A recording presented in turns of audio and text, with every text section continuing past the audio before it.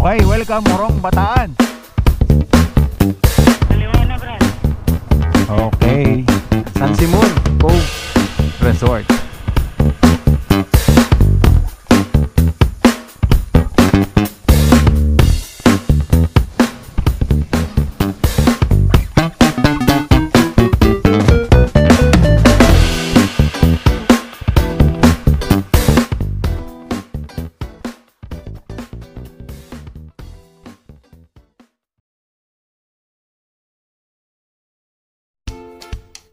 Isang magandang araw po sa inyong lahat at welcome pong muli sa ating panibagong Moto Adventure. For today's video, tayo po ngayon ay papunta ng Morong Bataan. Puntahan natin yung ah, isang beach resort dyan sa Morong Bataan at ito nga po yung San Simon.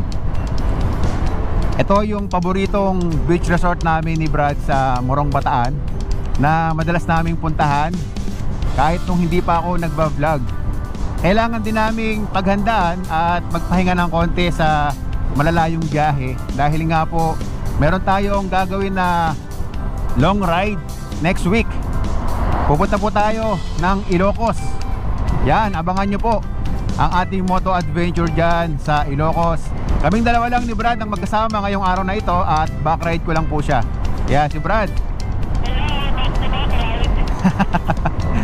Kailangan doon niyang magpahinga dahil nga malayo-layo yung ating pupuntahan next week. Ilocos Adventure. Di ba Brad? Kaya po samahan nyo kaming muli sa aming panibagong paglalakbay. At syempre, pagpasyal sa inyo, dyan sa Morong Bataan. Let's go!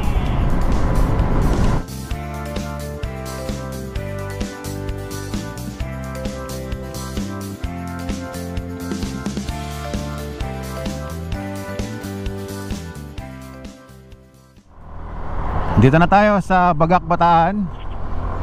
At umuulan dito. Mukhang maulan ang ating moto adventure Ngayong araw na ito. Ito yung malulupit na Bahagi ng kalsada rito sa Bataan na Merong matutulis na kurbada. Yeah. Inabutan kami ng malakas na ulan magsusuot muna kami ng kapote. Dahil talagang malakas. Hindi siya pwedeng ituloy-tuloy. Mababasa kami. Yan o may mga riders din na sumilong muna pansamantala. Dahil nga biglang buhos ang ulan dito. Sumobrang chill yung ride namin ni Brad ngayon dahil may kasama pang paulan. ano Brad?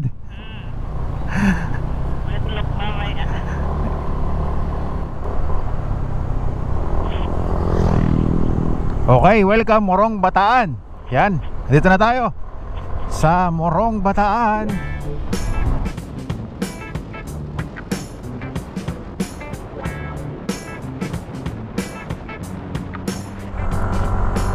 Wow, ganda naman dito. Dahil puno. Ganda ng tanawin.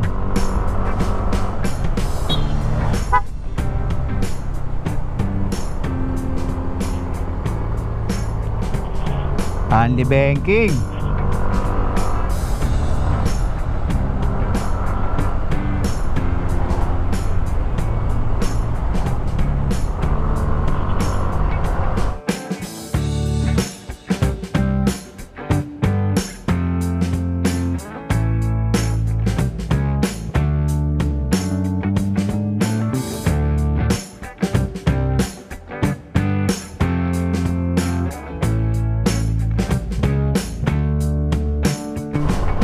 Ang ganda rin ng mga tanawin at mga kabundukan dito sa Morong Bataan ano? Pati yung mga malawak na palayan na makikita nyo rito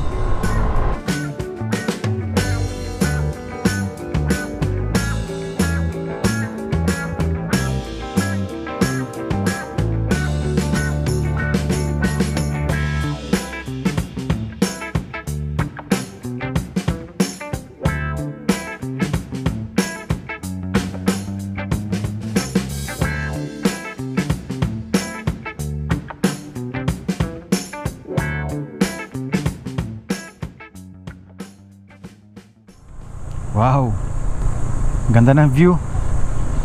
Daming mga turista na humihinto para magpa-picture dahil ang ganda ng view. Okay, andito na tayo sa Barangay Mabayo. At ito yung barangay na nakakasakop sa San Simon na beach resort na pupuntahan natin. Kaliwa na, Brad. Okay. Left turn tayo dito.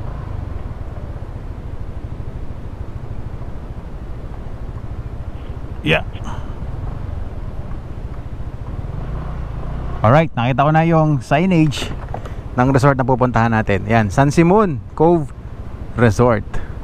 Alright, dito na tayo.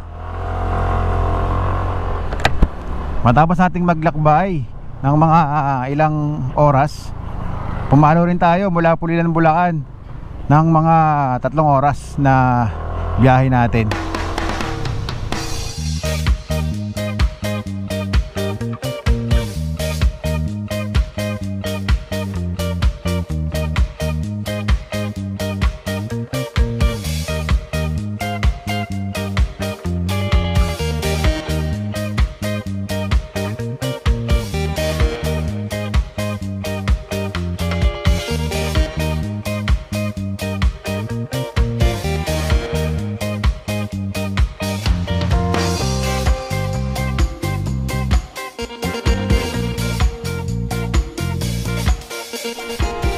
Okay, pasok tayo dito sa San Simon. Sitio Minangga nga pala ang nakakasakop dito ha. Barangay Mabayo, Morong Bataan. Hindi tayo nagpabook dito, walk-in lang tayo. Dahil tatambay lang tayo ni Brad dito sa lugar na to.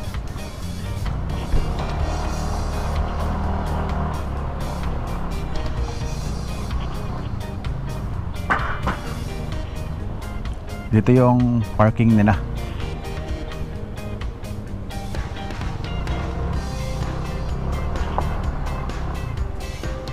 Alright, nandito na tayo.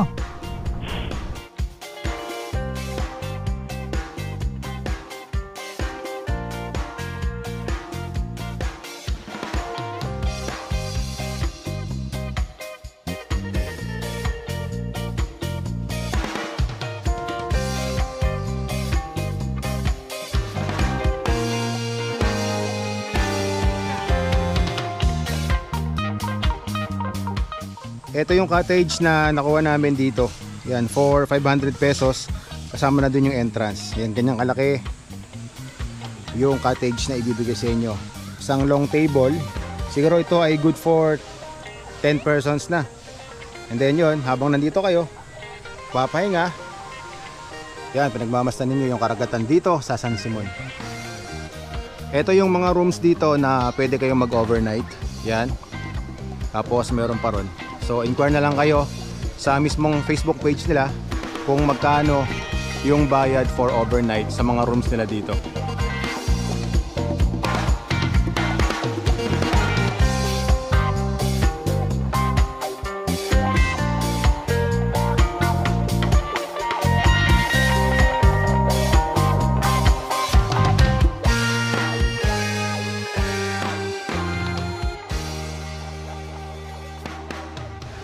Ang daming cottages dito. Yan, ang haba hanggang doon sa dulo. Kanan at kaliwa. Yan. Pwede kayong mamili. Meron din sila ditong mga kubo. Yan. Marami kayong pwedeng pagpilian dito na rooms. Meron din sila dito ang convenience store. Yan. Marami kayong pwedeng mabili dyan. At pwede rin kayong mag-order ng pagkain dito.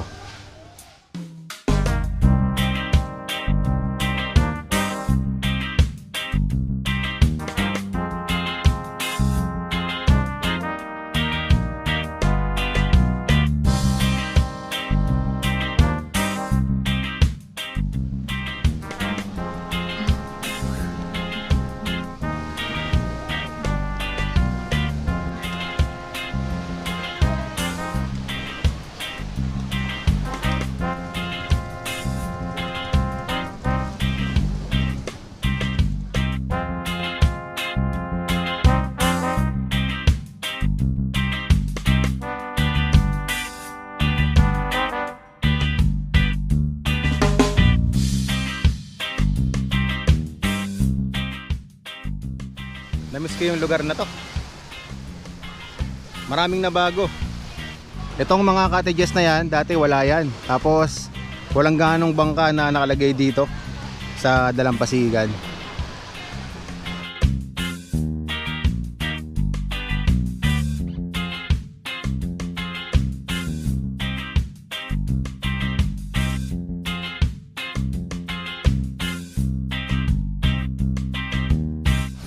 Diyan sa lugar na yan ay maraming bato dati at nilipat na rito. Tapos meron din kayong makikita ron na mga floating cottages.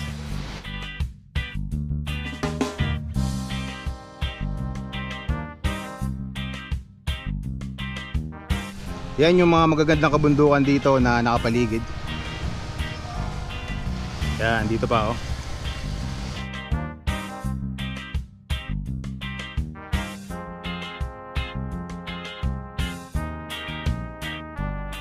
Ito lang talaga yung balak namin gawin dito. Maupo, kumain, mag-chill habang pinagmamasdan yung magandang karagatan dito sa San Simon. At syempre, gusto rin namin sa inyong ipakita yung ganda ng lugar na to para magkaroon kayo ng idea kung sakaling gusto nyo pumunta ng Murong Bataan at naghahanap kayo ng beach resort dito, yan. Pwede nyong puntahan tong San Simon.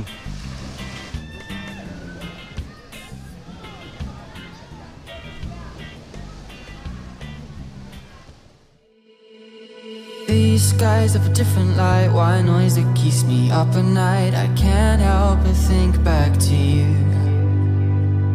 I wish that I could find a face that I would recognize. I replay the memory of you. It's been hard, you know I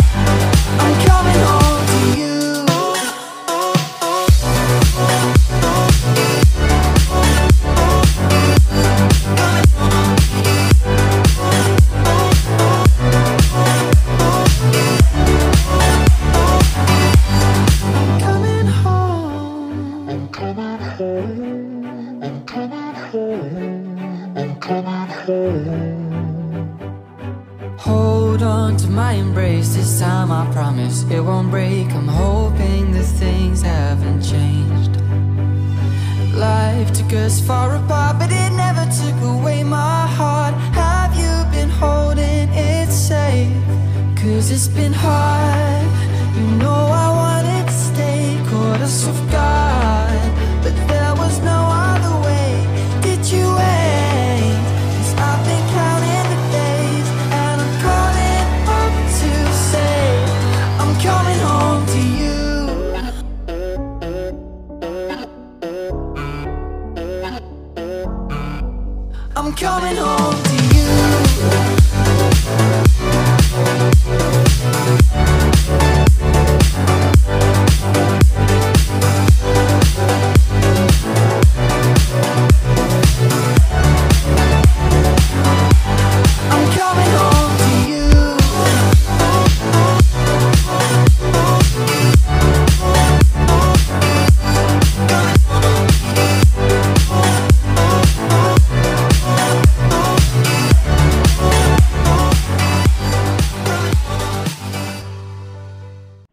Isa na namang moto adventure ang ating nagawa dito sa Morong Bataan at naipakita ko na po sa inyo ang ganda ng San Simon Beach Resort. Yan, sa mga subscribers ko na wala pa pong idea kung saan kayo pupuntang resort dito sa Bataan at kung mapunta po kayo ng Morong, ay nawala yung ilaw natin.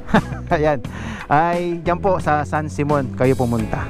Highly recommended po yung beach resort na yan at mabait po yung may-ari. Yan, at sana nga po ay nagustuhan nyo ang ating moto adventure for today at ito nga po ay simpleng vlog lang namin ni Brad kumbaga ay chill chill ride lang dahil nga po meron tayong pinaghahandaan na malayong bakbakan malayong adventure shout out kay Paula A. Rich RCO. Yan, maraming maraming salamat po. Shout out din sa ating solid na subscriber na si uh, Ma'am Cathy Gatchalian. Yan, happy happy birthday po ma'am. At God bless you po. Yan. Ah, lagi po kayong mag-iingat, Ma'am Cathy Gatchalian. Maraming maraming salamat po sa walang sawang pagsuporta sa ating Moto Adventure. Shout out din kay Mr. Katuklas. Shout out din kay Jeds Official. Shout out kay Pampi Motovlog. At gusto ko din i-shout out si uh, Sir Arvin Reyes, yung kinakainan namin ng ihaw-ihaw dyan sa Plaridel. Napakasarap po ng ihaw-ihaw nila. Shout out din po kay Nanay, yung uh, may-ari po ng Pabarotis na napakasarap po ng mga ihaw-ihaw nyo dyan sa Plaridel. Shout out kay Elizabeth Tongson. At hanggang dito na lang po ang aming moto adventure ni Brad. Bye-bye! At inabot na nga po tayo ng gabi. Kaya po laging tatandaan, keep safe, ride safe, God bless, bye-bye, yahoo, yeah. Alright. Nawawala yung ilaw namin. Andito kami sa gas station, okay? Bye-bye.